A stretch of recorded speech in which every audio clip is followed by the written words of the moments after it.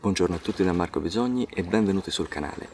Nel video di oggi parliamo di un argomento sempre molto dibattuto, quello dei megapixel, ovvero quanti megapixel dovrebbe avere una fotocamera e se una fotocamera con un grande numero di megapixel è sempre preferibile.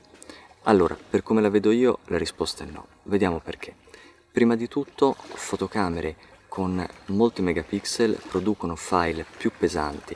File più pesanti si traducono in necessità di elaboratori, di computer più performanti per gestirli. Quindi dopo aver comprato e aver speso diverso denaro per una fotocamera con 40 o 50 megapixel, vi renderete conto che il vostro computer probabilmente non sarà più sufficiente a gestirli o comunque non sarà in grado di gestire questi file come quelli con la stessa velocità di quelli della vostra fotocamera precedente.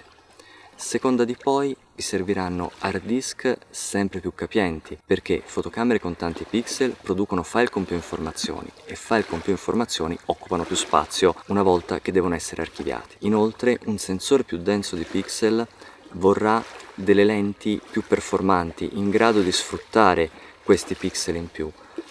Quindi sarà necessaria un'ulteriore spesa per adeguare il vostro parco ottiche se già non è di classe molto elevata. Un altro problema è quello della diffrazione, ma di questo ho già parlato in un altro video che vi linko in alto. Non solo, tutti i difetti che può avere un'immagine saranno più evidenti perché più pixel vogliono dire più definizione.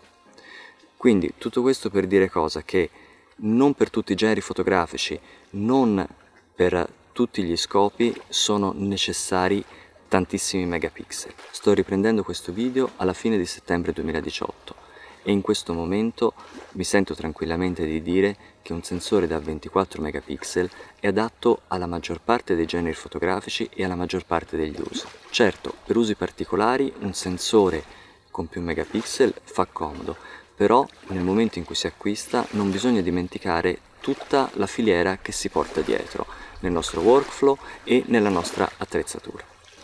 Bene, il video di oggi finisce qui, se vi è piaciuto lasciatemi un like, se vi fa piacere continuare a seguirmi e non siete ancora iscritti al canale iscrivetevi e alla prossima, ciao!